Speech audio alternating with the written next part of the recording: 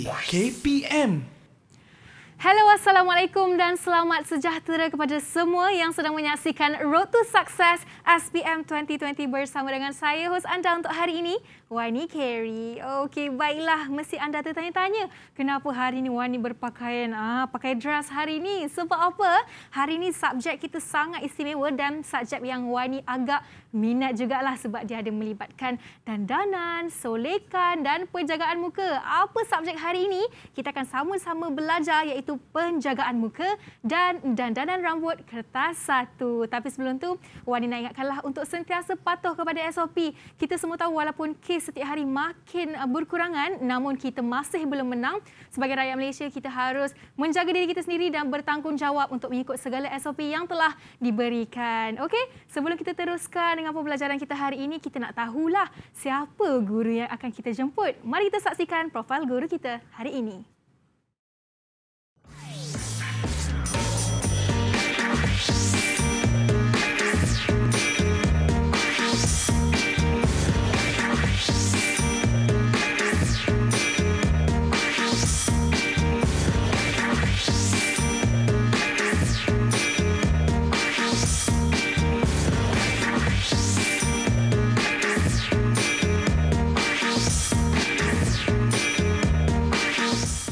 Bisa tegal biasa. Ha itu dia antara moto yang dipilih oleh guru kita hari ini. Kita persilakan Cikgu Nasrul Fiza. Assalamualaikum Cikgu. Waalaikumsalam warahmatullahi. Ha, Cikgu Nasrul. Ya saya. Ha, mengajar subjek penjagaan muka dan dandanan rambut. Hmm. Ini sebenarnya Cikgu merupakan subjek mata pelajaran vokasional yang diajar di sekolah harian ya Cikgu? Hmm, betul.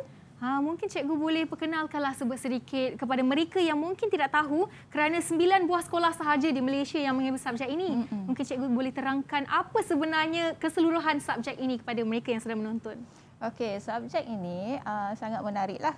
Okey, pelajar-pelajar akan belajar tentang uh, cara untuk menjaga muka, rambut dan rambut dan juga solekan. Mm-hmm. Okey, kami ada sembilan buah sekolah dan 12 orang cikgu saja yang mengajar subjek ini. Oh, cikgu antara seorang uh, cikgu yeah. yang hebat itulah 12 guru sahaja yeah, di Malaysia. guru saja, tak ramai. Aha. Macam hari ini kita akan fokuskan kertas satu ya cikgu? Ah, kertas satu. Tapi kertas satu bahagian mana yang akan cikgu lebihkan fokusnya itu? Okey, saya akan lebihkan bahagian C dan hmm. B. Eh, sebab dia adalah soalan kebat. Ha, bahagian C banyak bahagian kibat. Yeah. Boleh kita tanya yang cikgu bawa ni hmm. uh, ada berkenaan dengan bahagian C juga uh, ke cikgu? Betul. Memang semua ni kita fokus kepada bahagian C. Ha, tu dia menarik uh, kan? Ha, pelbagai alatan solekan hmm. yang kita bawa. Hmm. Uh, tapi sekarang ini cikgu Wani nak ajak cikgu untuk sama-sama kita pergi ke meja sini. Okay. Ha, kita okay. nak mengajar mereka di luar sana hmm. untuk cara penyimpanan emas hmm. di bekas emas sendiri. Hmm. Okey. Okay. Kita buka masuk dalam bekas ini, uh, yang paling penting kena jaga jarak sekurang-kurangnya satu meter. meter. Okey, kita dah jaga jarak. Lepas dah simpan emas, uh, cikgu boleh pakai hand sanitizer uh-huh. di depan. Alright. Ha, ini untuk memastikan kebersihan kita sentiasa terjaga sepanjang masa. Uh-huh. Wani pun kena pakai juga. Dan jom kita kembali ke sana balik cikgu. Okey, okay. nampaknya kita dah berkenalan dengan Cikgu Nasrul Fiza untuk subjek ini dan sekarang ini kita nak dengar dululah pandangan para pelajar yang akan mengambil subjek penjagaan muka dan dandanan rambut. Mari kita. Didik TV KPM Saya suka subjek ini kerana ianya hands-on. Apatah lagi kami diajar oleh guru yang berkemahiran tinggi. Dengan itu, saya telah memperoleh duit poket sendiri dengan menyolek dan menggunting rambut di kawasan persekitaran saya. Pertama sekali, saya rasa sangat bersyukur bila sekolah saya menawarkan subjek ini. Seterus dengan mengetahui cara dan teknik yang betul, ia dapat membentuk imej saya dengan lebih baik, kemas, cantik dan yang paling penting, membuat saya nampak yakin apabila berhadapan dengan kawan-kawan ataupun orang ramai. Bidang ini tidaklah begitu susah sekiranya kita betul-betul fokus masa guru sedang mengajar. Bidang ini juga bidang kegemaran saya dan saya berharap saya dapat menjawab dengan baik dan mendapatkan keputusan yang baik SPM nanti. Bye! Didik TV KPM Ha, tu dia para uh, pandangan para pelajar mengenai subjek ini. Seperti kita lihat, majoriti adalah pelajar wanita. Boleh saya tanya cikgu, ada tak yang uh, pelajar lelaki yang mengambil subjek ini cikgu? Ah, di sekolah tidak ada. Tidak ada. Ada, ada. Seluruh Semuanya. sembilan sekolah tidak ada. Ya, tidak ada. Aha, nampaknya memang subjek ini antara kegemaran wanita. Ya tengoklah solekan dandanan macam Wani sendiri yang hari ini bersolek hmm. lebih sikit lah Ya, cikgu. ya, betul. Ha, macam itu pun rambut dekat uh, mannequin tu. Hmm. Ha, Wani nak buat sanggul tadi yang tak sempat. So Wani buatlah kel-kel hari Hmm, ini. okey, Mungkin lepas ni ada kaitannya yang akan cikgu ajar sebentar nanti. Hmm. Tapi sekarang ini sebentar je lagi kita akan bersama dengan dua buah sekolah yang berbeza yang Hmm. cikgu bawakan sekali untuk kita di studio. Tapi sebelum tu kita nak berehat dululah dan jangan ke mana-mana kembali dalam Road to Success SPM 2020. Didik TV KPM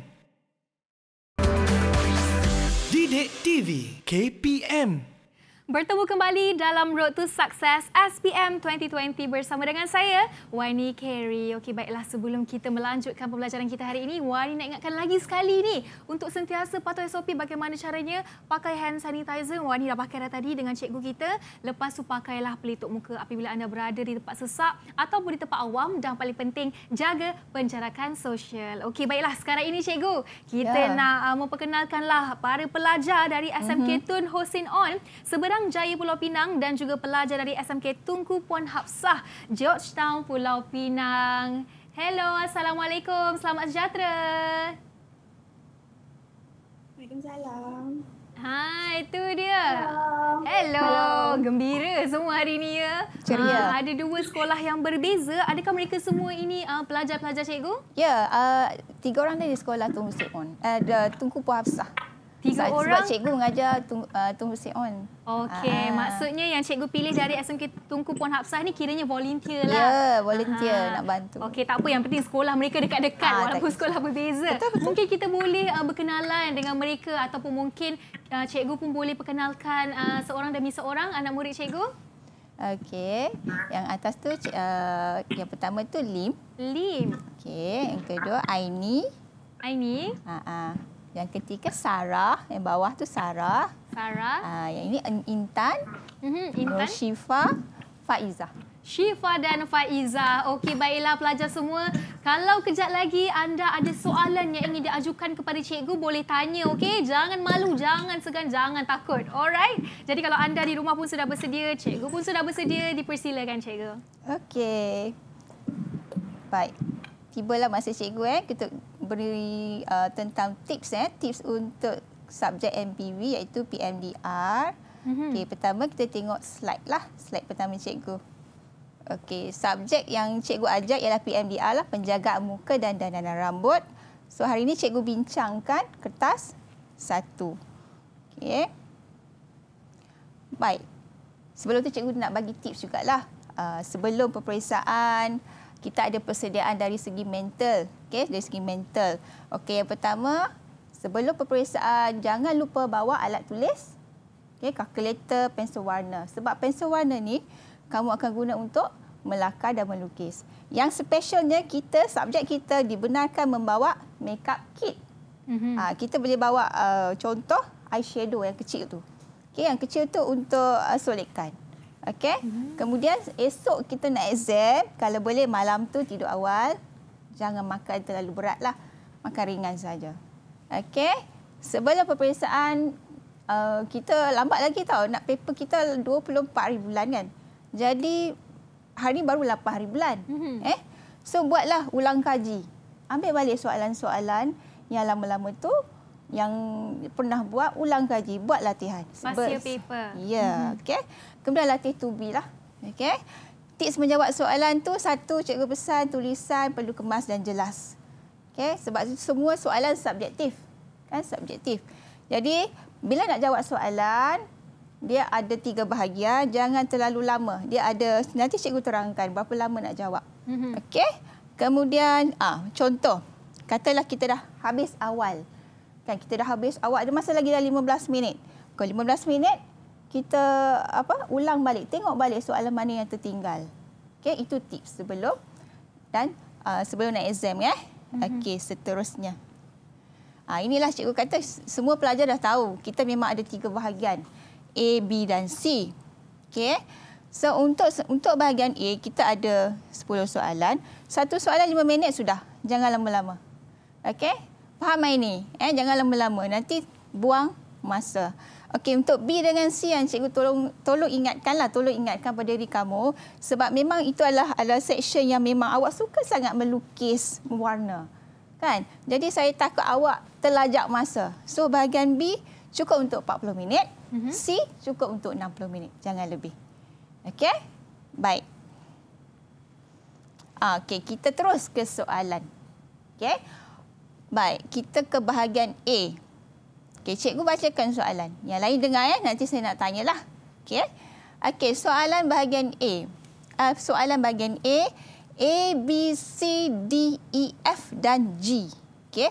Adalah penyataan kerja menggayakan rambut menggunakan pengikal elektrik. Okey, pilih lima langkah yang berkaitan. So dalam table ni dia letak penyataan kerja. Jadi, Pertama sekali, bila dapat soalan, cari kata kunci. Okey, kata kunci. Okey, kata kunci ialah pernyataan tentang kerja yang ini. Pernyataan kerja. Okey. Baik, saya tanya Sarah. Apakah langkah kerja? Yang mana? Langkah kerja untuk membuat apa? Langkah Amali. kerja untuk membuat pengikal Pengikal rambut. Okey, mengikat. Okey, mengikat rambut. So, dia menggunakan hmm. pengikat elektrik. Mhm. Okey, itu kan dia punya keyword dia ataupun kata kerja. Jadi, dia nak langkah kerja. Bila tengok dalam table, dia ada tujuh. Betul? Mhm. Soalan minta? Lima sahaja. Yes, lima. Jadi, dua kita kena buangkan. Okey, dua kita kena buangkan. So, kita pilih satu uh, Intan, awak cuba baca A. A. Ha ah. A. Boleh Intan? Boleh Intan? Mem- saya tak nampak. Okey, tak apa. Mungkin kita boleh baca untuk tak mereka apa. dulu cikgu. Okey, cikgu bacalah. Mm-hmm. Memasang plat besi pada pengikat rambut. Okey, adakah betul menggunakan plat besi, Faizah? Apa jawapan yang betul, Faizah? Ni plat besi. Ya. Tak, tak betul. Tak betul. Plat besi tu kita guna di praktikal yang mana? Pengetak elektrik. Pengetak elektrik. Soalan kita minta pengikal. Pengikat. Ah, so ini bukanlah jawapan dia.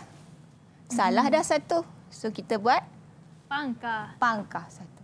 Tolong pangkahlah. Okey. Kita dah buang satu. Okey untuk yang B membubuhkan peneutral pada rambut. Syifa, adakah betul membubuh peneutral? Salah. Salah. Okey. Peneutral kita tidak gunakan untuk mengikat rambut. Kita akan guna mousse. Mau. Okey, mousse. Okey. So dua dah buang, tinggal lima. Lima tu ialah jawapan yang betul. Cuma sekarang kamu kena susun yang mana satu. Langkah yang mula dengan langkah yang hujung. Okey. So ada lima, so kita tengok jawapan. Oh sorry. Okey D. Kita akan panaskan pengikal rambut, Rambut. dulu. Okey, mesti kita panaskan dulu. Kan? Macam contohlah macam kita nak iron baju. Mhm. Kita mesti panaskan iron dulu kan. Baru kita gosok baju. Ah macam itulah Ya. perumpamannya.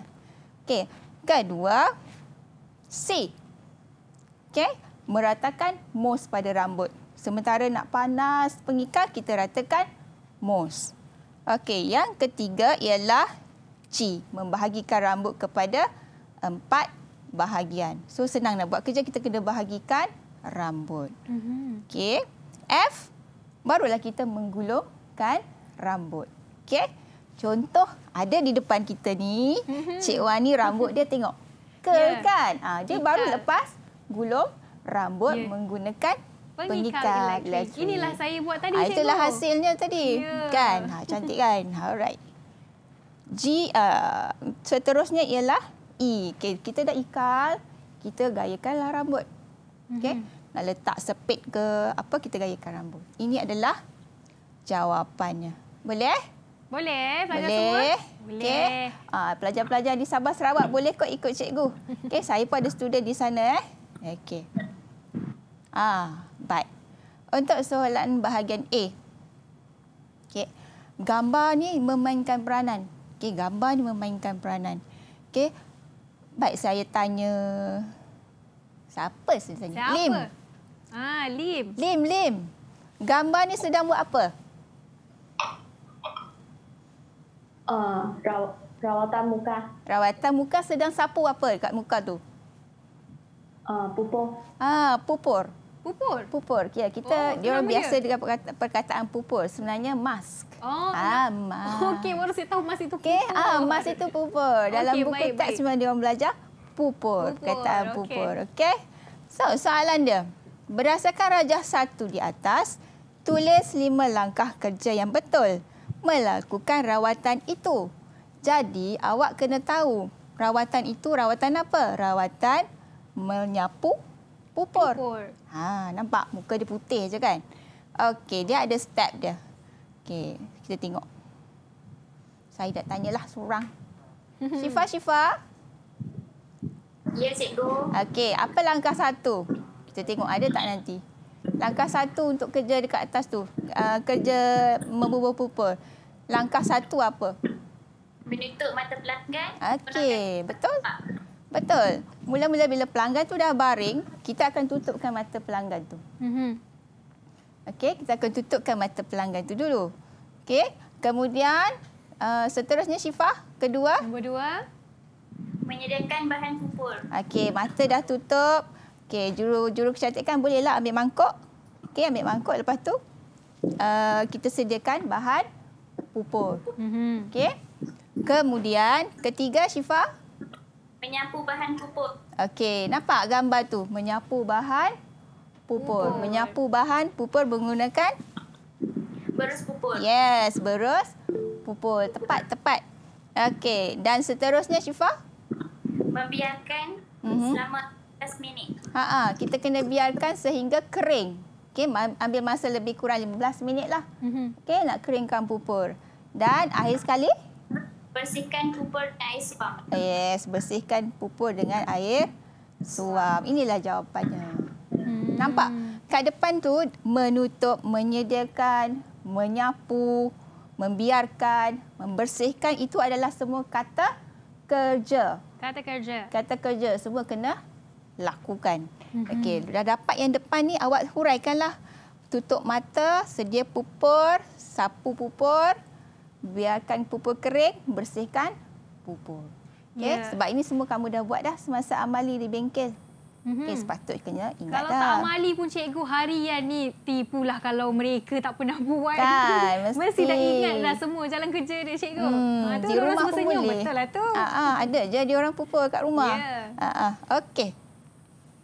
Okey, untuk contoh soalan bahagian tiga, seterusnya.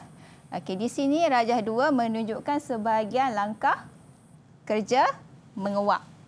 Ni keluar wap tu. Okey, mengewap muka. Baik, gambar ada sedang mengewap lah muka. So, soalan dia. Apa soalan dia? Senaraikan okey, lima langkah. Ah, ini. Kata kunci kita cari. Okey, kita kata kunci kita cari langkah keselamatan. Cuba cikgu nak nak ingatkan langkah keselamatan dengan langkah kerja berbeza. Kalau langkah kerja, kamu kena ikut step, Mhm. ikut langkah. Kalau langkah keselamatan, tak perlu ikut langkah. Okey, tak perlu ikut langkah. Okey, di sini awak boleh fikirkan, oh, kita guna barang elektrik, bahaya kan? So mesti ada langkah-langkah keselamatan semasa menguap. Okey, saya nak dengar jawapan Sarah. Sarah. Sarah, apa langkah keselamatan? Apa langkah keselamatan? Mata dia tutup mata pelanggan Okey. sebelum menguap. Okey, betul. Kenapa kalau kita tak tutup apa akan jadi? Sebab haba haba air uap tu akan masuk kat mata pelanggan. Yes, betul. Mhm. Okey. Ha, ha, betul tu. Okey, kedua? Yang kedua, Mm-mm. uap muka perlu berada jarak 30 cm Ah, ah. daripada pelanggan. Mm-mm. Kena ada jarak. Kalau dekat sangat, panas. Mm-hmm. Kan? So dia kena jauhkan sikit. Okey. Seterusnya Sarah?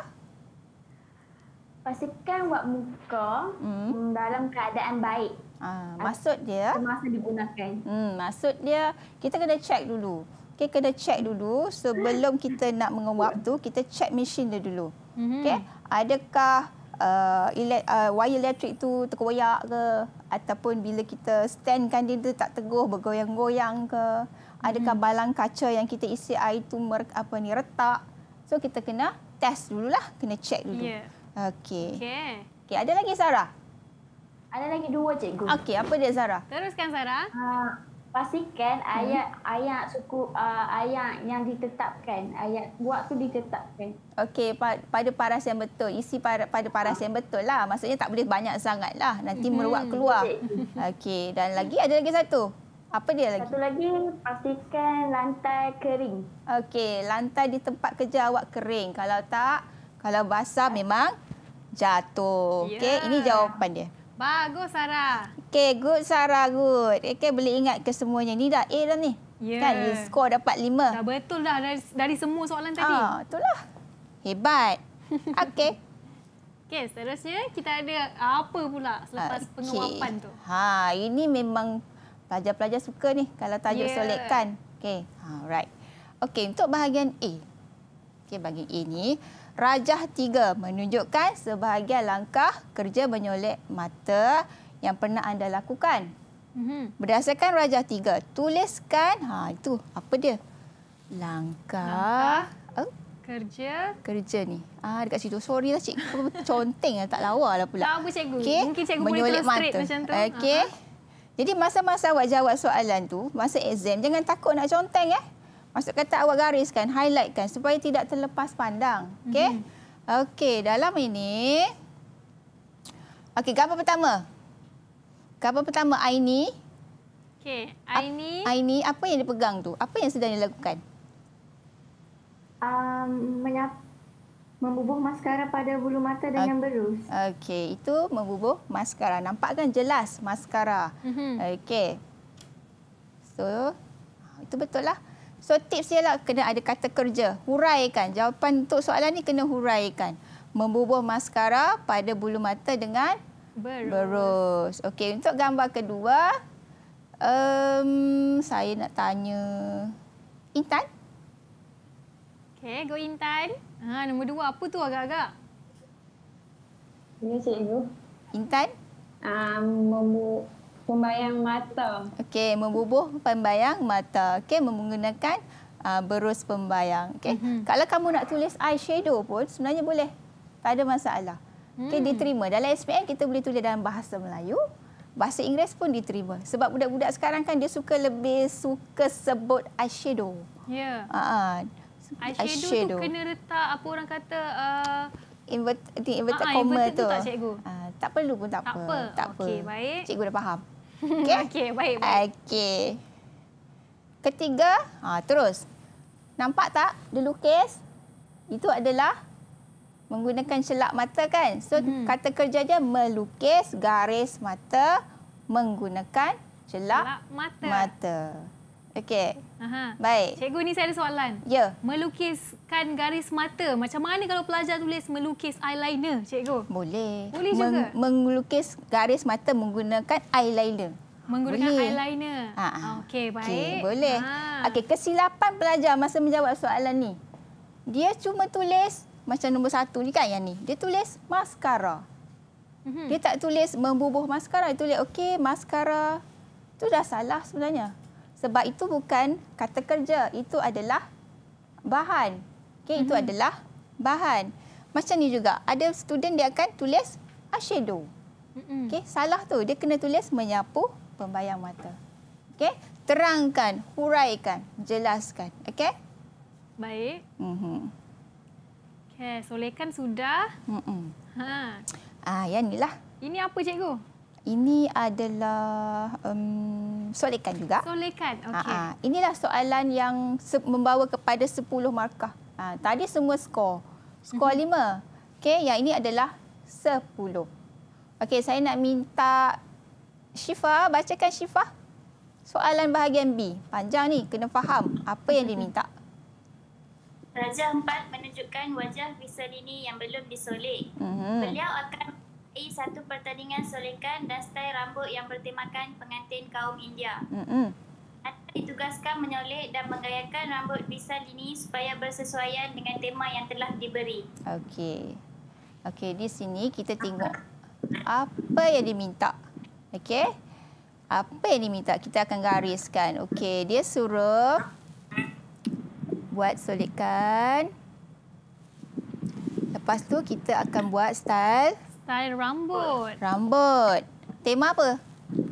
Pengantin Pengantin kaum India. Okey, pengantin pengantin kaum India. kaum India. So rambut solekan. Mhm. tema pengantin kaum India. Dalam soalan nanti memang ada gambar ni, gambar yang kosong yang tak di uh, warnakan lagi, yang tak disolek lagi. Fashion rambut pun tak ada lagi. Jadi kamu kena kreatif lah. Okay? Okay, bila uh, kita tengok pen- pengantin kaum India, cuba awak bayangkan macam mana? Awak bayangkanlah cerita mm-hmm. Hindustan. Betul tak? Hindustan kan kalau kahwin tu dia punya pakaian, rambut dia, aksesori dia macam mana? Ya. Okey. Okey, kita bayangkan. Okey, soalan dia apa yang diminta? Anda ditugaskan menyolek dan menggayakan rambut Bisalini supaya bersesuaian dengan tema. Okey, sesuai dengan tema. So, A lakar dan warnakan solekkan pada ruang jawapan. Mhm. Cadangkan mana-mana dua bahan solekkan yang digunakan untuk menyolek macam ni lah. Dua bahan. Kemudian C, awak nyatakan kenapa ataupun sebab pemilihan warna yang awak solek tu nanti. Ha, dia ada tiga lah, A, B dan C. Markah yang banyak tu di bahagian A. Okay, ambil masa sikit. Okay, ambil masa sikit untuk kamu nak fikirkan warna yang sesuai dengan uh, fashion rambut. Okay, boleh dapat? Boleh faham? Ha? Semua faham. Semua faham ni, angguk-angguk faham. Okey? Okey. Baik. Okey, kita tengok jawapannya. Ha, cantik kan? Wow. Ha, Ini cantik. hasil setelah dilakar mewarna Ya, semua. betul. Eh? Mhm. Hasilnya kalau pandai lukis, lakar memang cantik lah. Ini adalah sesuai dengan tema. Okey, Mhm. sesuai dengan tema pengantin. Okey, kalau tengok di sini, di depan di dahi tu, dia ada apa? Sama tak macam tu?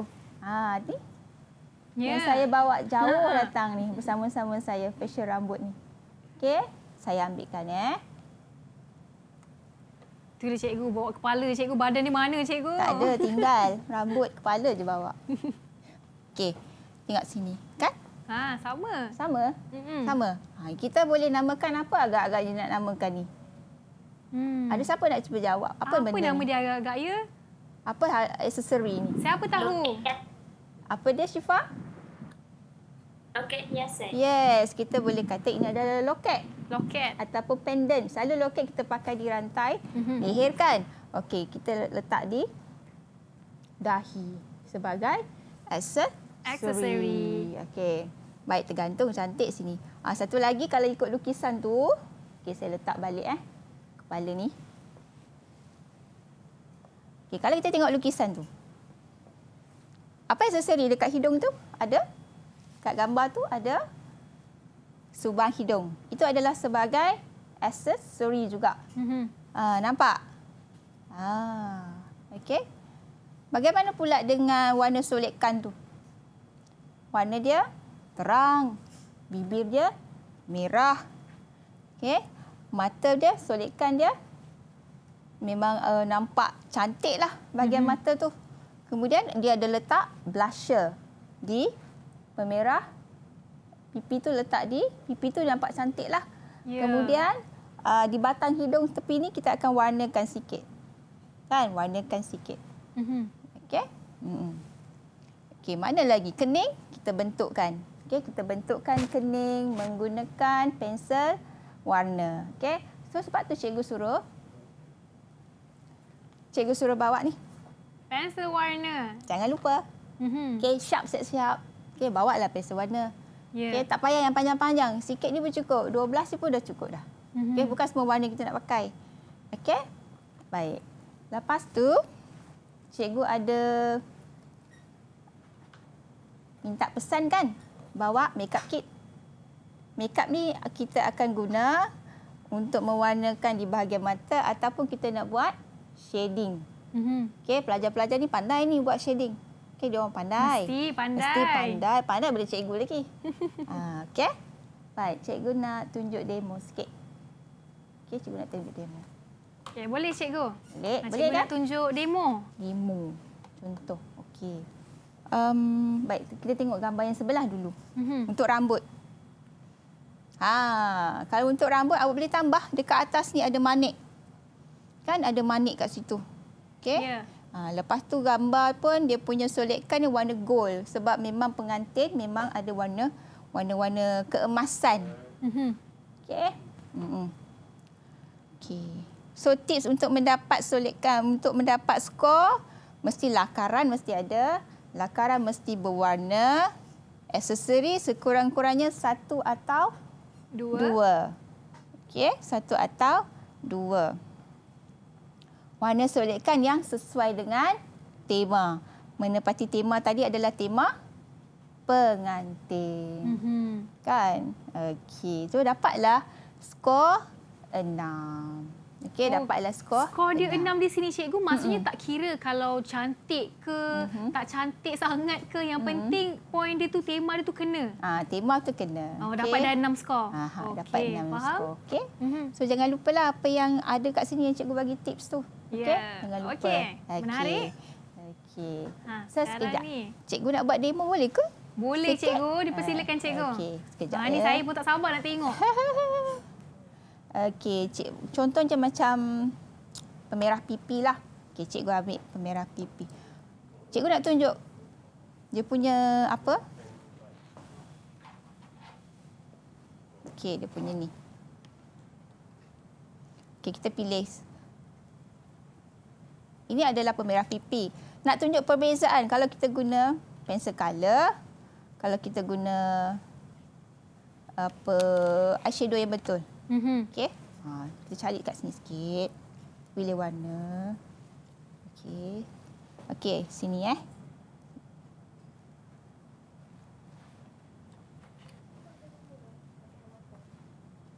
Okey, kita letak merah. pipi. Ha, dengan menggunakan jari sahaja. Ha, cari je dekat sini.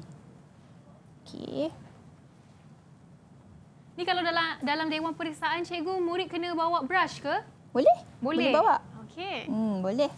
Ni kalau brush kan. Cuma hati-hatilah sebab kalau guna pembayang mata yang betul dia uh, kalau tak berhati-hati dia comot.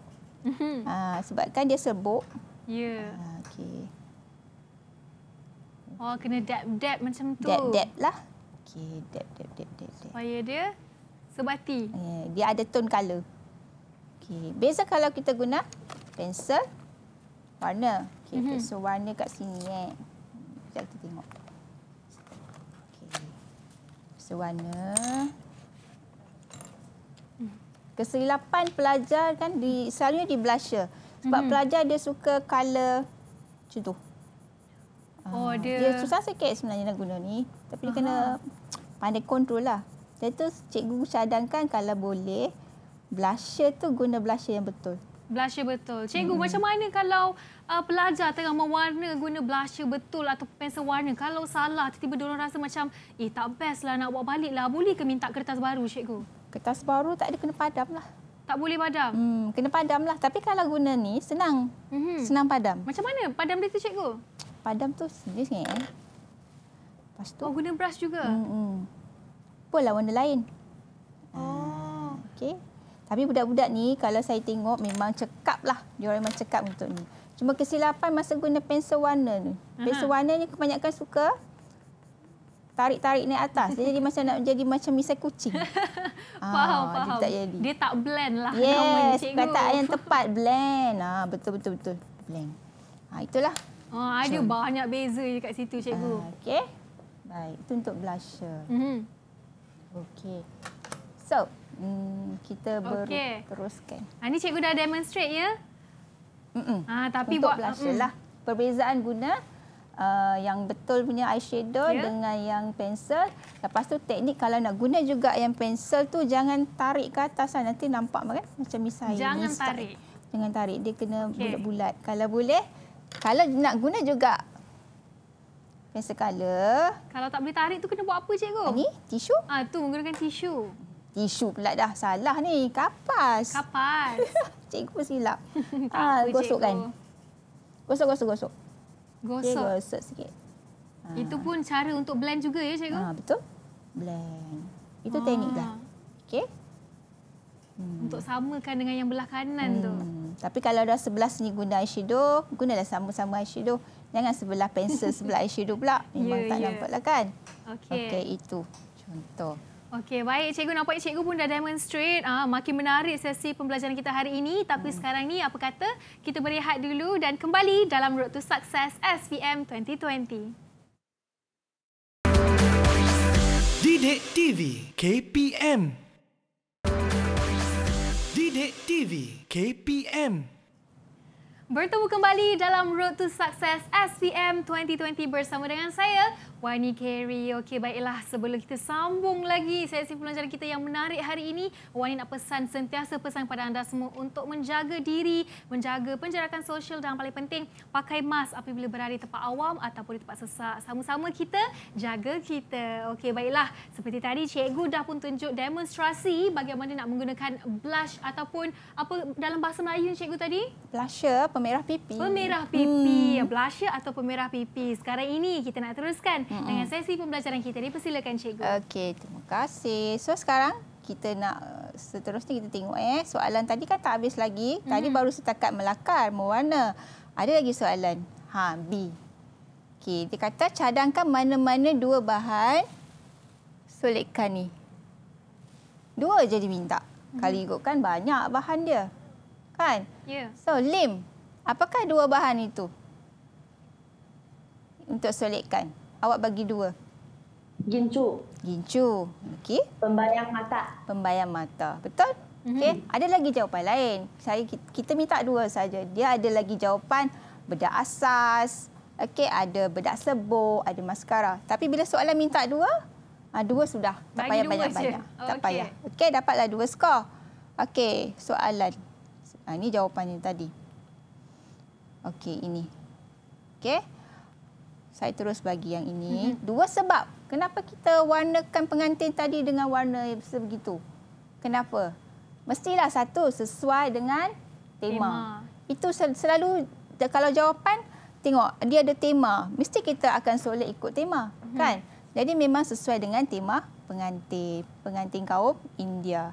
Okey, kedua, solekkan tu memang untuk menyelahkan raut muka seorang pengantin lebih ceria dan cantik. Kan? Pengantin mana yang tak nak cantik hari tu? So, memang solekkan tu untuk lebih mencantikkan lagi. Ya. Eh, cantikkan lagi muka pengantin. Okey, itu selesai. Dapatlah 10 skor. Okey, 10 bukan sikit tau, banyak. Ya, betul. Ya, banyak tu, 10. Percuma dah dapat markah situ. Tu. Ha, ha. Tak perlu nak baca-baca kan. Awak cuma lakar. Ha, Okey. Ini pula contoh soalan bahagian B. Okey. Pelanggan ini yang ada nampak ni mempunyai bentuk muka seperti di atas. Mhm. Dia tak cakap bentuk muka apa. Okey, saya nak tanya. Uh, Sarah. Bentuk muka pelanggan ni bentuk muka apa? Bulat cikgu. Ha, bulat. Betul Bulat. Ya, kenapa bulat? Kat bawah ni kan? Orang bulat, lepas tu kat bawah ni ada double chin. Mhm.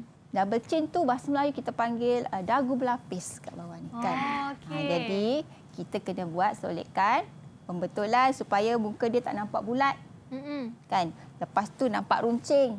Nampak bujur macam Wani lah.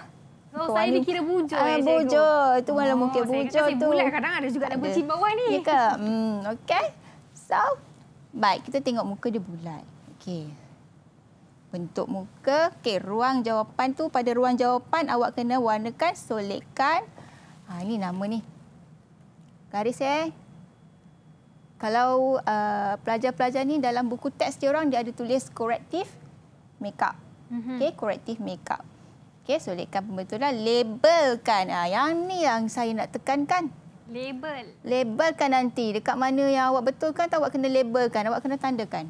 Selalu pelajar lupa. Mhm. Dia warna-warna, dia betulkan, dia shading-shading, dia lupa nak label. Ha, itu yang hilang markah. Okey, B, warnakan kedudukan pemerah pipi yang sesuai. C, huraikan secara ringkas. Kesan solekkan pembetulan tu pada bahagian yang awak lukis. Okey? Mhm. Kesan dia tu awak kena huraikan. Okey, kena huraikan. Okey, kita tengok.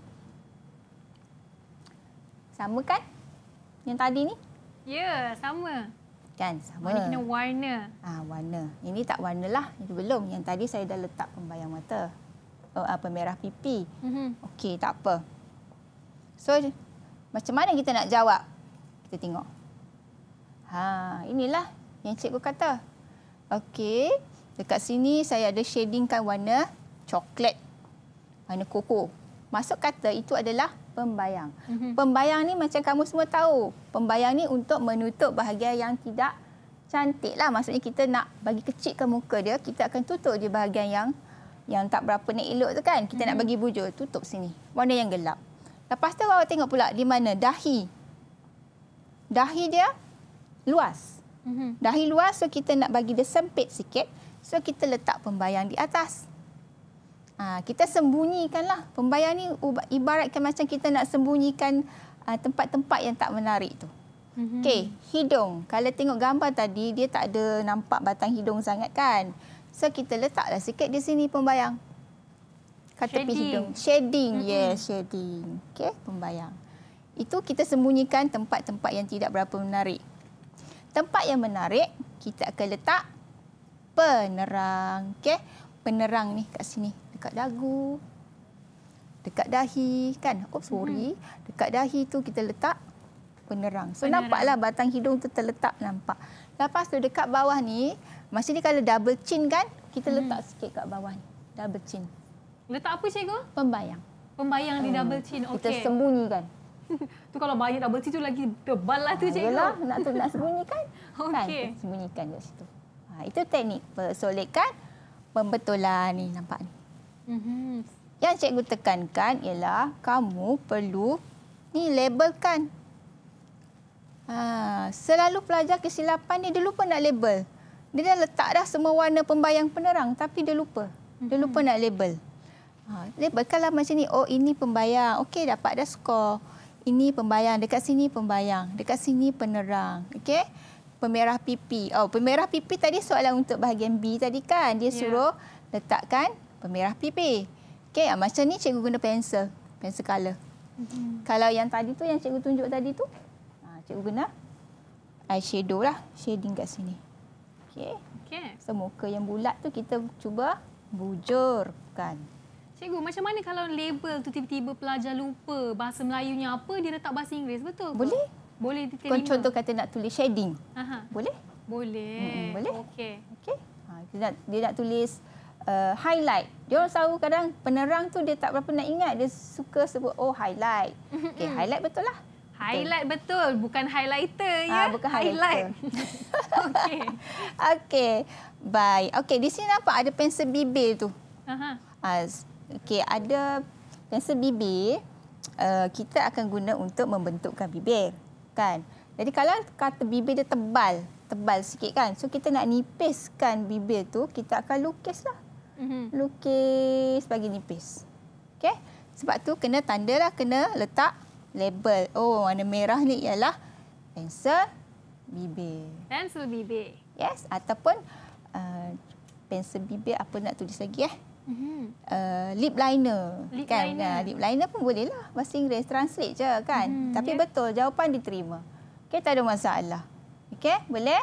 Boleh, boleh, belajar. boleh. Cikgu, saya baru tahu lip liner tu fungsi dia untuk mengecilkan bibir ke? Kalau nak bagi kecil bibir, kita lukis lah. Oh, saya ingatkan kalau lukis untuk bagi besar bibir lagi. Boleh. Kalau nak Boleh. besar, eh, macam trend sekarang, nak besarkan lagi kan. Ha. Lukis je lah. Lukis Ada ikut semua. Ah, lukis semua. Ah, trend sekarang. Oh, Kalau nak bagi kecil, kita lukislah kecil. Okey, kita lukis bagi nipis. Ha, Boleh. Itulah dia seronok kan wanita. Nak Ha-ha. kecil, nak besar. Lukis je semua sekarang. Lukis saja, tak ada masalah. Oh, Semua ya, boleh ya. make over. Orang kata make over kan? Okey. Baik. Hmm. Okey. tadi kita dah betulkan di mana-mana yang tak berapa menarik tu kita dah sembunyikan. Mhm. Okey, sekarang kena huraikan. Okey, huraikan. Ini bila perkataan hurai ni kan selalu pelajar dia jadi cemas. Tentang apa nak cakap ni cikgu, apa nak cerita ni cikgu. Ha, tak ada, tak ada apa pun. Cerita je lah. Kenapa awak sulitkan muka dia letak sini pembayang? Kenapa? Kan? Kenapa? Ini panggil rahang kan? Ini rahang. Kenapa nak letak? Okey. So, jawapan dia solidkan pembetulan dapat memberi kesan pada bentuk muka yang bulat tadi nampak lebih bujur. Itulah kesan dia. Ha ni. Kata kunci dia yang ini. Kesan. Kesan solidkan. Okey? Ha, lagi, kenapa kamu letak dekat sini? Kenapa? Pembayang kat sini. Janji saya nak tanya. Hmm. Syifa, Syifa. Syifa, Syifa, kenapa kita letak pembayang kat tepi batang hidung? Sebab nak bagi hidung mancung. Ya, daripada hidung mancung. Nampaklah Ah. batang hidung tu. Okey? Sesuai untuk saya yang hidung tak berapa nak mancung ni cikgu. hidung saya comel Ya je. kan, comel lah. Okey, tu dia dah nampak tu ada. ya, nampak kan? Ah, Nampak, semua ada nampak. shape tu. Okey? Baik, yang kedua tu jawapan bibir. Kan kamu lukis tadi dengan menggunakan pensel bibir tu. Kenapa? Untuk bentukkan bibir tu bahagian bawah kelihatan nipis sikit. Mhm. Okay, so, kalau ada juga mulut kita, bibir kita yang macam sengit sikit, kita boleh seimbangkan dia. Pakai kita guna pensel bibir, Pensel kita bibir. seimbang. Balancekan bibir tu. Aha. Okey. Okey. Baik. Oh, cikgu nak tunjuk tadi eh. Ha, macam ni lah. Hmm. Kalau untuk um, kalau untuk pembayang, shading, cikgu kalau boleh gunalah guna pensel colour. Pensel, okey. Ha, okey, untuk pensel colour. Okey, untuk pensel colour. Okey, contohnya kan nampak ni? Hmm. Kita ubus ni. Ah, ubus ni. Ni shading lah. Shading ataupun pembayang. Okey? Ha, dekat sini kan nampak? Ya. Hmm. Nampak runcing dah muka dia cikgu. Ha, runcing, runcing. Okey, kita runcingkan. Kalau untuk pembayang ni cikgu, Ya. boleh ikut uh, apa orang kata boleh ikut kemauan pelajar ke nak besar mana ke tebal mana ke? Masuk kata tebal macam ni ke lagi banyak Ah, macam ni? maksudnya ikut mereka lah nak banyak mana letak pembayang tu. Ah, boleh. Boleh. Ah, ah, cuma Okey. bahagian tu betul lah dekat sini. Eh, Mhm. kat sini. Kena betul kat sini. Okey. Okey, macam dahi dia kan kita nampak dia tadi. Mhm. Nipis, eh, nipis pula sorry. Dia nampak uh, luas. Luas. So kita nak Kita nak sempitkan dia. sempitkan dia. Ha, sempitkan dia kita letaklah. Pembayang kat situ. Ha, Tu okey. dia. Ha, nampaklah contoh. Okey, cikgu suruh uh, lebih galakkan kamu guna pensel lah. Pensel uh-huh. warna. Okey, pensel warna. Itu contoh. Dan jangan lupa label. Jangan Hmm. lupa label. Kalau tak label, hilang Markah. markah. Dapat sikit je lah. Kan? Tak dapatlah markah yang banyak. Mhm. Okey, bahagian B dah sudah. Hmm. Ha, ini soalan favourite ni. Okey, soalan favourite ni. Hmm, Pengiraan. pengiraan kos memang ada. Mhm. Sebab nanti manalah tahu kamu esok nak buka bisnes kan. Kamu Mhm. kena tahu macam mana nak kira. Apa kos yang terlibat. Okey, apa kos yang terlibat. Okey, untuk bahagian ini, bahagian B pun 10 markah juga. Okey. Uh, tolong bacakan soalan untuk saya. Uh, Aini. Aini. Anda ditugaskan untuk memberi perkhidmatan mengeriting rambut pelanggan. Mm-mm. Jaja satu menunjukkan anggaran kos kerinting rambut seorang pelanggan. Okey, di sini kena hati-hati. Okey, kena hati-hati. Apa benda yang diminta? Okey, kita nak kira kos. Okey, dalam table ni dia punya perkhidmatan ialah mengerinting. Okey, dia kerinting rambut. Okey, kerinting. Untuk seorang. Pelanggan. Ah, yang tu kena jaga. Seorang. Okey, dalam ni memang adalah untuk dia dah cakap di sini, seorang. Okey. Dalam jenis perkhidmatan tu, dalam itu dia dah senaraikan semua bahan untuk seorang. Okey, kertas hujung untuk seorang dia guna RM4. Okey. Krim pelindung RM4. Lotion keriting pun RM15. peneutral RM10. Awak jangan risau. Ini semua dia dah bagi. Cuma awak kena peka kepada kehendak soalan. Dalam soalan ni dia kata lab, uh, table ni untuk seorang. Okey. Kos upah untuk mengeriting rambut ialah RM30. Okey. Air RM2. Elektrik RM3. Bayaran perkhidmatan untuk keriting rambut adalah RM120 untuk seorang. Okey, ini maklumat yang diberi. Mm-hmm. Kan? Okey. Ah, ini ya soalannya tadi. Okey, soalan. Ah, yang inilah. Kita baca yang ni. Yang ini. Hati-hati yang ini. Tiga. Ah, tiga. Tadi dalam table tu seorang. Soalan dia minta tiga orang. Mm-hmm. Okey.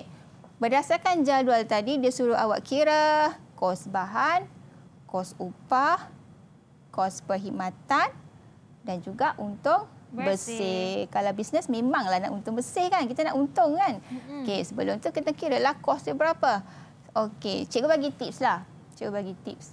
Dapat je buku soalan tu, bila buka bahagian B pengiraan kos, jangan tengok soalan tu lagi. Terus tulis formula. Formula. Okey, saya takut awak panik tau bila awak tengok soalan tak tahu dah terlupa dah formula. Jadi awak tulis siap-siap formula. Soalan jangan tengok lagi, tulis formula. Okey, cikgu ringkaskan kos bahan KB. Kos upah KU. Kos sampingan KS. Mm-hmm. Okey, kos sampingan macam awak tahulah sebelum ini cikgu dah terangkan kan saya percaya cikgu di sekolah dah terangkan pada kamu kos sampingan itu ialah air tambah elektrik. Kos sampingan ini cikgu terangkan sikit. Walaupun kedai selun awak tutup untuk sebulan dua bulan, bil air, bil elektrik tetap kena bayar. Mm-hmm. Betul? Ah, tak boleh, mesti kena bayar walaupun um, selun tu ketutup untuk 2 3 2 3 bulan. Kan mm-hmm. contoh macam tahun lepas uh, kedai gunting rambut tak dibuka sebab pandemik Covid kan? Yeah. Ha, so tetap kena bayar. Kos tu tetap kita kena kira. Okey. Mm-hmm. Kos perkhidmatan. Apa kos perkhidmatan? Kos perkhidmatan ialah KB campur KU campur KS. Jadi Senang dah. KB, KU, KS. Nampak cikgu highlightkan B, U, S. Apa dalam bahasa Inggeris kalau B, U, S tu apa? Bus. Kan? Bus. Ha, bus. Jadi bila KP ialah bus. Kan saya bagi apa cikgu bagi tips lah untuk mengingat formula. Okey, mm-hmm. KP sama dengan bus. Okey. Untuk bersih. Formula dia ialah bayaran perkhidmatan tolak kos perkhidmatan. Untung saya tulis U. Bayaran cikgu tulis B. Kos cikgu tulis K. Okay. So senang U sama dengan B tolak K. UBK. Ingat dekat sekolah kan kita ada unit UBK. Ha, UBK tu bimbingan kaunseling. Okey. So right. UBK kan. Ha, itu adalah tips lah cikgu bagi cara mudah nak ingat. Mm-hmm. Okey, sebelum nak start bu- buka soalan, tulis dulu siap-siap formula ni supaya kamu tak panik. Kadang bila panik ni formula pun lupa. Betul bila lupa, mm-hmm. bila lupa tak boleh nak jawab. Kan? Yeah. Okey. Kita tengok. Macam mana cara mengira? Okey, cara pengiraan. Okey. Mula kita nak kira kos bahan.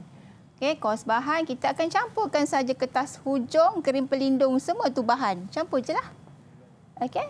Mhm. Campur-campur-campur dapatlah RM33. Ha. Kesilapan pelajar ialah pelajar lupa nak darab ini. Tiga orang. Tiga orang. Sebab dia minta kirakan untuk tiga, tiga orang. Barulah jawapan yang betul RM99. Kalau pelajar tulis RM33, ah, markah pun kuranglah. Mm-hmm. Tak cukup. Satu lagi. Hmm, pastikanlah bahan-bahan yang diguna ni betul ke untuk mengeriti rambut. Ha, kena pastikan. Mm-hmm. Sebab ada ada masa soalan tu dia saja trik awak tahu. Dia saja memerangkap. Ha, dia letak kertas hujung apa-apa tiba-tiba dia letak uh, barus applicator brush. Applicator brush inilah berus yang kita akan guna untuk sapu bahan. Ha. Tiba-tiba dia letak yang itu. Sebenarnya bukan tau. Sebab kita nak kira bahan, kita tak boleh masukkan alat. Mm-hmm. Sebab berus itu ialah alat. Ha. Tapi bila kita cek tengok, semuanya memang betul lah bahan. Okey, boleh dapat? Ya. Yeah. Okey, anak-anak yang kat sana tu enam orang ni. Okey. Okey, ha. anak-anak yang lain tu kat Terengganu ada, Penang ada, Sabah Sarawak Labuan. Okey, yeah. harap faham. Boleh follow. Sebab soalan ni memang sayanglah kalau salah banyak. Sebab sinilah nak skor. Pengiraan hmm. kos ni lah nak skor untuk dapat 10 markah. Okey. Kos upah. Kita kira kos upah. Okey, dia dah bagi tahu dah kat dalam tu. Upah tu ialah RM30 untuk seorang. Ingat, seorang. Tapi yang datang pada hari itu, tiga. So, awak kena darabkan dapatlah RM90 kos upah. Ha, dapat dah markah, dua markah dah situ. Mm-hmm. Mm-hmm. Okey, kos sampingan tadi cikgu dah bagi dah. Kos sampingan air tambah elektrik. So, dua tambah tiga, RM5 untuk seorang. Kamu kena darab dengan tiga orang, dapatlah jumlahnya ialah RM15. Okey, itu kos sampingan. Okey, kos perkhidmatan. Yang saya kata bas-bas tu. Ha, tu nampak. BUS. KP sama dengan BUS. Okey, kos hmm. bahan kita dah kira pada awal tadi. Ambil je lah RM99. Kos upah pun kita dah kira untuk tiga orang. RM90. Kos sampingan pun dah kira juga RM15. So, tak perlu lagi kamu darab tiga. Okey, tak perlu lagi darab tiga. Kesilapannya ialah pelajar ni bila dah tambah, dia darab lagi tiga orang. Itu dah salah. Sebab semua ni dah darab dah. Kamu cuma tambah, saja. saja. Tak perlu darab lagi. Nanti dia jadi double, berganda. Okey. So dapatlah jawapan RM204 kos perkhidmatan. Mm-hmm. Okey. Untung bersih. Ha, ini yang seronok ni. Kita nak dapat untung ke kita nak dapat rugi. Okey, kalau bisnes ni yang ni yang suspend ni, untung ke rugi ya? Untung ke rugi. Ha, sekarang kita nak tengok. Okey, untuk bersih. Formula dah saya kata tadi, U sama dengan B tolak K. Okay. Bayaran perkhidmatan tolak kos perkhidmatan. Ha, di sini kamu kena alert lah, kena jaga. Sebab tadi bayaran perkhidmatan dia bagi untuk seorang 120. Tapi yang tadi pelanggan kamu datang tiga orang. Jadi kamu kena darab dulu. Okey, buat dalam ni kurungan. Eh, kurungan supaya kamu tak keliru. 120 darab tiga selesaikan dalam kurungan 360 tolak tadi kos perkhidmatan dapatlah 156 ringgit okey hmm. jelas so jelas. untung kan untung okay. untung ha, uh, ini cara bahagian B ya cikgu ha ah bahagian okay. B memang ha. ada soalan ni wajib hmm. ada soalan pengiraan kos lepas ni cikgu ada soalan bahagian B ke cikgu nak masuk bahagian C lepas ni Hmm, lepas ni saya akan masuk bahagian C. Lepas ni bahagian C. Ha, apa kata sebelum kita masuk bahagian C, bahagian yang paling mencabar, Mm-mm. kita nak berehat dulu lah seketika. Dan jangan ke mana-mana, kembali dalam Road to Success SPM 2020.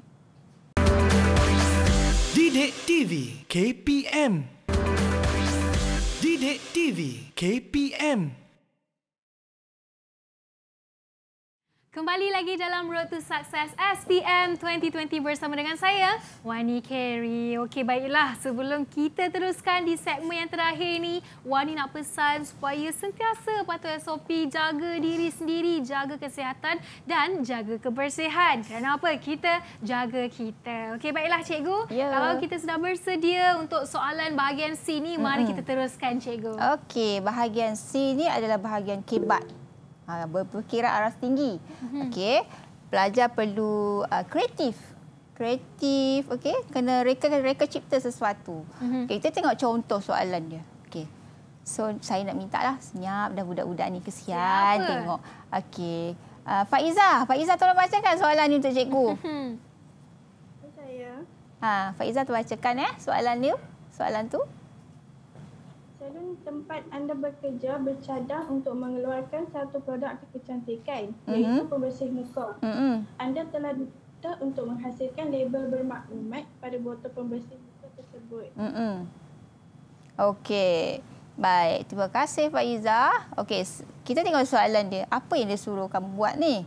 Kalau tak faham soalan, baca berulang kali. Tak apa, hmm. baca dua kali. Kadang takut apa? Takut awak salah faham. Nanti soalan minta lain, awak pula minta lain. Hmm. Ha, so orang suruh yeah. lukis botol, awak lukis uh, paper bag pula kan. Silap lah contoh. Hmm. Okey. Okey, kita gariskan dulu. Okey, dia nak suruh apa? Lukis, pembersih, masukkan label. Okey, kita buat label. Botol, pembersih muka. Ha, nampak dah? Ayat tu panjang-panjang kan? Memang keliru. Bila awak highlight kan, awak akan nampak lah. Oh, dia ni soalan ni nak minta buat botol je pun.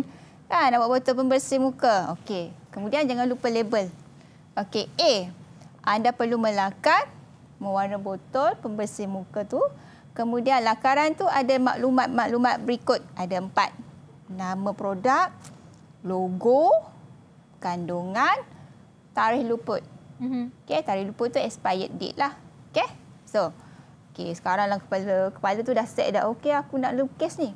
Lukis kepala uh, lukis uh, botol. Okey, botol, botol. Okey, ada setengah soalan dia dah bagi botol siap-siap. Ada juga soalan yang dia, dia, soalan tu ada kotak kosong, kamu yang kena reka botol. Okey, hmm. dalam sini dia dah ada siap botol. Okey, kita tengok. Ha, yang ni dah ada dah. Dia dah bagi dah botol. Botol dia macam ni. Bentuk kosong. Tak ada apa pun. Mm-mm. Tak conteng lagi. Okey, mula-mula lakar dulu. Ni guna pensel. Ha, tolong eh guna pensel 2B ke eh sharp sikit pensel tu siap-siap. Mm-mm. Bila nak lukis tu cantik sikit. Okey, maklumat yang perlu ada tadi apa dia?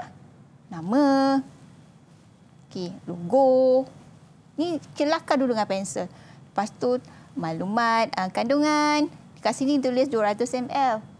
Okey, lepas tu ada tarikh luput dia. Bila last kali boleh pakai, boleh guna. Okey, lakar dulu. Okey, nama produk dia awak reka lah sendiri nak nak sebut simple ke apa-apa je lah yang terlintas. Hmm. Okey? Baik, itu lakaran. Okey, lakaran. Lakaran tak ada masalah. Nak mewarnakan takut ha, nak mewarna. Ya, macam-macam ha, warna ada. Ha, itu macam-macam warna bahkan kita kalau tengok produk, kita akan tengok bekas dia kan dulu. Ya, Sambil lalu dia. je. Oh, cantiknya botol ni. Padahal kita tak tahu pun. Okey? Mm-mm. Kita tak tahu pun uh, produk ni jual apa. Macam eh tak pernah tengok. Tapi sebab bekas tu menarik, bekas tu menarik, awak akan ambil. Yeah. Awak akan tengok. Kan kita kan suka benda yang cantik. kan? Okey. Baik, dekat pembersih uh, pembersih muka ni ada warna. Warna tu biarlah warna yang agak terang. Macam sekarang tu, tu yang cikgu tunjuk tu warna kuning. Okey, lepas tu ada nama. Okey, ada tona color. Okey, kalau logo tengok hijau dia macam mana. Kan? Hijau dia macam mana. Ada ada tona. Okey.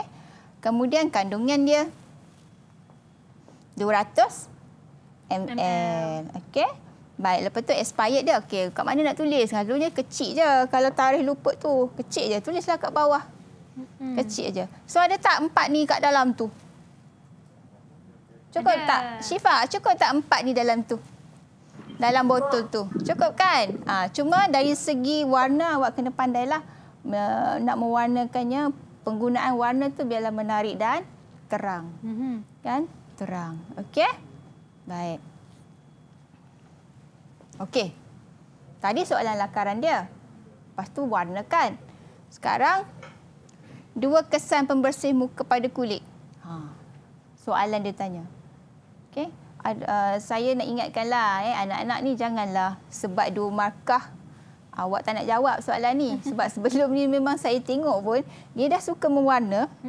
Dia leka mewarna. Lama dia warna. Lepas tu dia tinggal. Alah cikgu dua markah je pun dia cakap. Tak boleh. Skor walaupun dua, dia boleh membezakan kamu grade tau. Katalah kamu nak dapat lagi satu grade, dapat A. Kamu tinggal soalan ni. Kamu kata alah dua markah je. Tak boleh eh. Tolong jawab. Tolong jawab. Sayang. Okey? Baik. Mm-hmm. Apakah kesannya saya nak tanya? Saya nak tanya. Intan, berikan satu kesan. Kesan pembersih muka pada muka dan wajah. Kenapa awak cuci muka? Awak mesti cuci muka setiap hari. Yeah. Kan kita semua cuci Kenapa muka setiap hari. Kenapa Intan? Kulit akan lebih segar, bersih dan ceria. Betul, kulit kan lebih segar. Kan? Lalu kita nampak punya kulit tu kan lebih segar. Kan fresh je muka dia. Tak adalah nampak kulit tu uh, apa kusam. Betul? Okey, cuci. Okey, satu tu baru satu. Ya. Okey, satu lagi jawapan. Syifa? Uh, Syifa pula. Apa tadi saya tanya? Siapa? Tadi Intan. Intan. Nak sambung Intan. Cikgu pun sasul nama. Uh, mengurangkan kesan minyak di kawasan muka. Okey, betul. Sebab macam kamu kan, kamu kan balik sekolah. Kan tengah panas balik sekolah. Kan muka pun berpeluh-peluh. Lepas tu berminyak-minyak. Jadi macam mana nak bagi hilang ke minyak tu? Ha, kena cuci muka lah. Cuci muka menggunakan pembersih muka. Bukan cuci muka menggunakan air saja. Tak jadi apa kalau cuci air dengan air. Tak jadi. Mesti guna pembersih muka yang sesuai. So, kesan dia ialah uh, mengurangkan kesan berminyak pada kulit wajah. Ya. Boleh? Boleh semua. Boleh. Okey, Okey. good, good, good, good. Okey. Cikgu, Ya. kita, kita, nampak cikgu pun bawakan ada botol di Ah, situ. Adakah itu betul, pembersih betul. muka, cikgu? Ah, okey. Tadi yang lakaran, sekarang cikgu nak tunjuk. Okey, ini botol kosong. Okey. Okey, botol kosong bentuk macam ni lah pula. Tadi bentuk lain kan? Mhm. Okey. So, satu lagi cikgu ciptakan ni. Maklumat tadi cikgu transferkan masukkan dalam ni. Okey, kalau tengok ni. Okey, kalau tengok ni ada logo.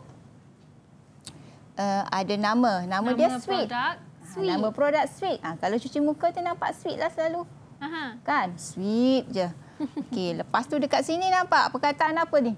Cleanser. Cleanser. Cleanser. Boleh eh? Nak tulis dalam bahasa Inggeris boleh. Nak tulis dalam bahasa Melayu pun boleh. Mhm. Cleanser. Sebab kalau tak tulis cleanser ni, contohlah. Kamu tak tulis cleanser. Kamu ambil, out, kamu teka. Eh, ni ni apa benda ni eh? Jual apa ni? Hmm. Awak Sabun cuci tangan pun boleh. Oh, pun boleh. pun boleh. Ah, tu hand sanitizer pun boleh Ya. kan. Banyak sangat botol sekarang kat meja hand sanitizer kan. Mm-mm. Ah, so awak kenalah tulis cleanser. Cleanser. Cleanser. Okey. Lepas tu awak boleh tambah maklumat di sini. Uh, ada papaya, jojoba oil contoh. Okey, ini tambahan lah. Nak dapat makan lebih, kenalah lebih. Ya, betul. Kan dapat makan nak sikit, sikitlah awak tulis. Yang Dapatlah ni, makan. mm-mm, yang ni packaging dia cikgu buat sendiri. Saya. Oh, sebagai contoh ya cikgu. Contoh. Tapi warna dia tu menarik Ah, kuning dia sebab tu. tu kena warna yang menarik. Sekali Ah. pandang dah nampak. Betul? Kan? Tengok di ekor mata nampak. Oi, kuningnya. Apa tu? Okey. Kan? Ha, Okey. lepas ni dalam dalam day one uh, nak colour make sure kena colour kuning. Ha, semua pelajar nanti buat kuning sebab nak nampak dia jauh. kan? Ha, terang tu. Ya. Okey, dekat bawah ni tulislah all skin type. Mhm. Contoh all skin type.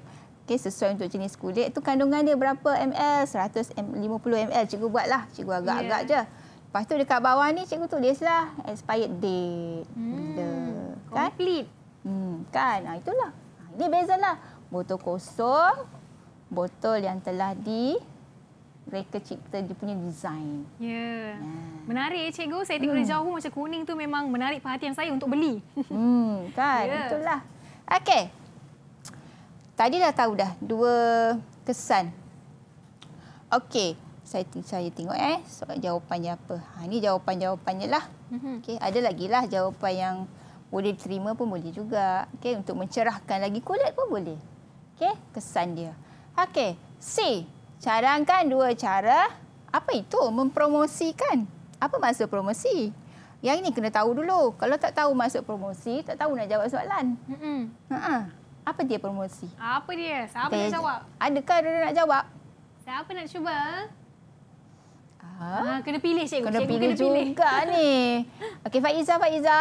Apa dia promosi tu? Ya saya. Apa dia mempromosi tu?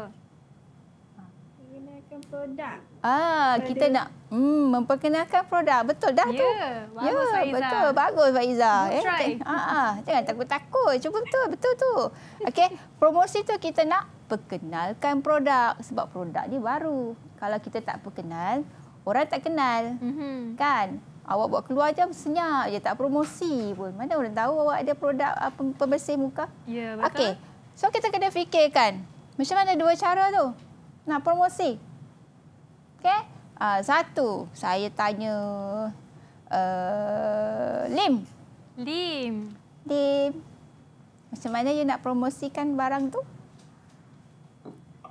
Uh, memberi sampel. Ah, memberi sampel. Tahu tak sampel tu macam mana? Uh, Apa tu sampel? Sampel. Okey, sampel tu macam ni lah. Botol ni kan besar. Mhm. So kita ambil kecil sikit aja kita bubuhkan dalam botol kecil ataupun kita letak dalam paket kecil. Itu adalah Mhm. sampel. Sampel. Ah, Okey, sampel. Kita bagi tester lah dekat orang. Ya. Bagi sampel, dia bawa balik. Dia bawa balik, dia buka. So, dia cuba. Oh, baguslah bersih muka ni. Ha, itu bagi sampel. Dekat mana kita nak bagi tu? Kita bagi kat tempat orang yang ramai lalu lalang. Mhm. Orang lalu, kita bagi. Ah, Cik, kita test tengok macam mana sampel. Ha, macam tu. Itu cara promosi lah. Ya, betul. Okey. Hmm, kedua, saya, saya tanya. Intan. Eh, Intan dah Ha, macam mana Intan nak Intan. promosi ya, kan? cikgu. Ha, macam mana Intan? Satu bagi sampel. Meng, mengedarkan risalah. Ah, kan? Hmm. Risalah itu ialah pamphlet. Bagus Intan. Mm-mm, bagus. Mhm. Boleh jawab. Okey.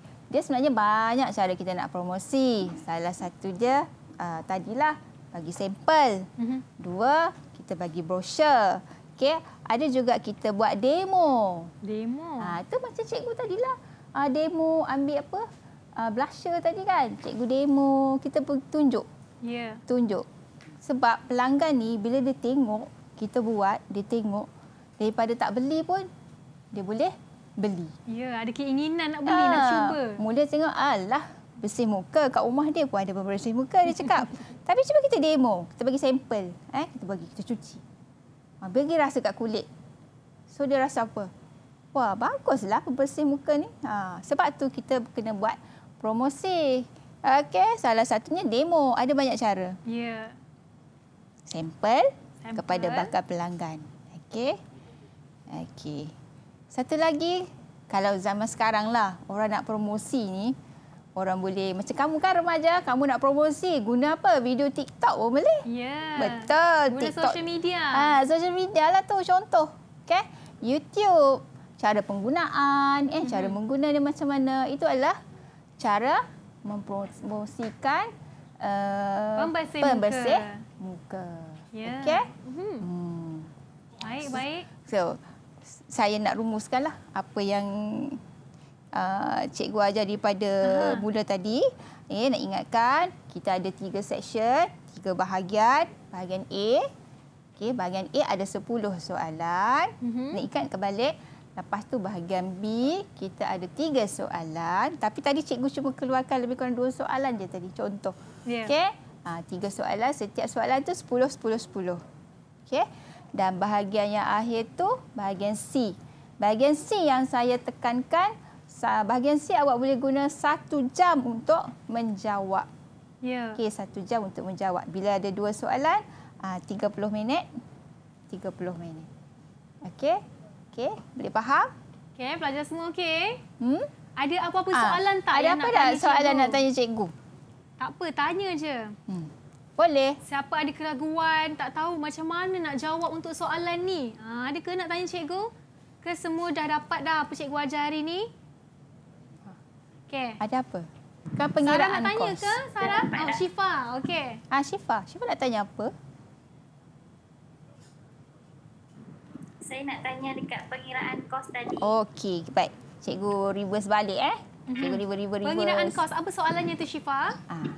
Kat mana? Uh, nak tahu bayaran perkhidmatan tu macam mana? Ah, yang ni ke Syifa? Okey, bayaran perkhidmatan ni.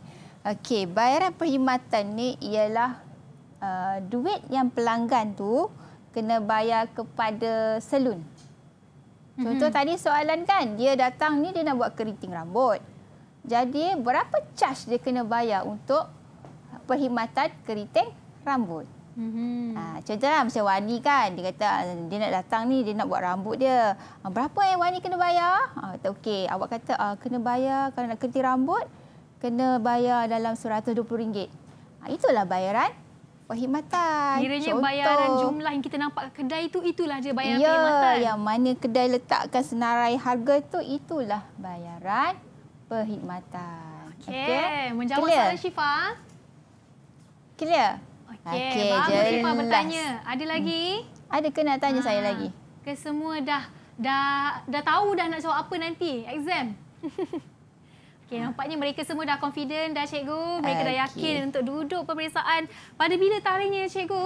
Uh, 20 22, 22, 22 Mac. tak 22 lama lagi. Mac. Tak lama lagi Hari tu. baru 8. Ada masa banyak lagi Mhm. untuk uh, apa? Uh, kita buat ulang kaji latih tubi. Eh, Ya. jangan buang masa. Jangan Ya. buang masa. Okey? Baik, cikgu pun dah membuat rumusan, pelajar-pelajar pun dah tanya soalan yang mereka tak tahu. Jadi sekarang mungkin cikgu ada um, kata-kata uh, semangat ataupun pesanan kepada mereka yang akan menduduki kertas ini tak lama lagi. Okey. Cikgu doakan semua anak-anak di Sabah, Sarawak, Labuan, Kemaman, Penang eh yang anak-anak yang enam orang ni yang setia bersama cikgu berjaya Hmm. dengan cemerlangnya di dalam subjek PMDR. Yakin? Boleh. Ya, Okey? insya-Allah itulah dia kata-kata semangat daripada cikgu kita hari ini, Cikgu Nasrul Fiza selaku guru panitia penjagaan muka dan dandanan rambut dari SMK Tun Hossein Seberang Jaya Pulau Pinang. Di sini Wani juga nak ucapkan terima kasih banyak kepada enam anak murid kita yang bersama-sama dari SMK Tun Hossein On Seberang Jaya Pulau Pinang dan juga pelajar dari SMK Tunku Puan Hafsah Georgetown Pulau Pinang. Terima kasih Syifa, Lim, Sarah, Aini, Faiza dan juga Intan. Kak Wani doakan agar anda berjaya menjawab semua dan berjaya memperoleh markah yang cemerlang untuk kertas um, penjagaan muka dan dandanan rambut ini. Dan terima kasih juga cikgu sudi meluangkan masa bersama dengan kami selama satu jam setengah ini. Sama-sama. Bye-bye. Didik TV KPM Assalamualaikum. Saya Marina binti Wahab, ibu kepada Nur Faiza binti Ismail yang bersekolah di SMK Terusion. Di sini saya mengucapkan selamat maju jaya kepada anak saya. Terima kasih kepada guru-guru yang telah mengajar anak saya buat yang terbaik. Mak yakin Faizah boleh buat. Terima kasih. Assalamualaikum warahmatullahi wabarakatuh. Saya Rukiah binti Hamad, ibu kepada Nur Syifa binti Syamuin yang bersekolah di SMK Tuanku Puan Hafsah. Saya di sini mengucapkan selamat berjuang kepada anak saya untuk SPM yang sedang berlangsung. Saya juga mengucapkan ribuan terima kasih kepada guru-guru yang telah mengajar anak saya selama persekolahan ini. Buat yang terbaik. Semoga mendapat keputusan yang cemerlang.